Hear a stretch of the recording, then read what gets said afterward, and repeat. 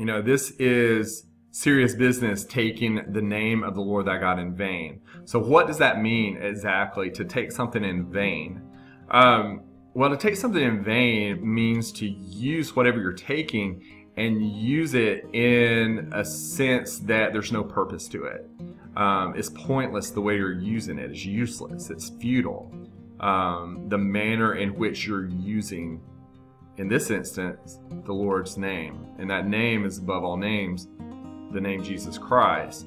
So, in today's churches, many being being in apostasy because of false gospels. These false gospels, these accursed gospels that are coming into the church and that preachers are telling others they are taking the name of the Lord thy God in vain because there's no salvation in the way that they're using the name of Jesus because they're not trusting in it. They're not trusting in the gospel of Jesus Christ.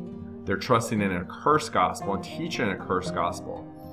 And usually it's because they're trying to add their own righteousness to the finished work of the cross. They're trying to add their righteousness to God's perfect righteousness through Jesus Christ. Um, you know, the true gospel is the good news of what Jesus did for us, not what we're doing. It's what He did, and we receive what He did freely as a gift. It's a free gift. It truly is good news. His death, burial, and resurrection, we trust in it, that He died for our sins according to Scripture, and was buried and rose again the third day according to Scripture. He overcame death for us through His resurrection. And we trust in that and rest in that. That is where eternal life is found. And it's only through Jesus Christ. But when you add your own works of righteousness to the true gospel, it becomes an accursed gospel. Jesus plus anything equals nothing. Jesus plus nothing equals everything. It's eternal life.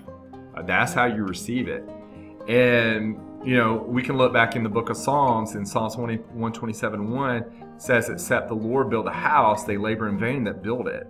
Except the Lord keep the city, the watchman waketh but in vain. And we have a lot of should be watchmen out there, these false prophets, that should be shepherding the flocks, but instead they're leading them astray. You know, they're laboring in vain. And, you know, they're not keeping watch. They aren't doing what they should in order to lead others to Jesus Christ, but rather they're leading others astray by preaching a false gospel, attaching the name of Jesus to a false gospel, and getting people to trust in themselves and what they're doing, and using that as part of salvation when it's the finished work of Jesus Christ, and that's the only way for salvation.